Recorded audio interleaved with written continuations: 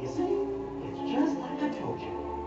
Wishes can come true if you believe in them with all your heart. And the best part is, you'll never run out of wishes. They're shining deep down inside of you. Because that, my friends, is where the magic lives.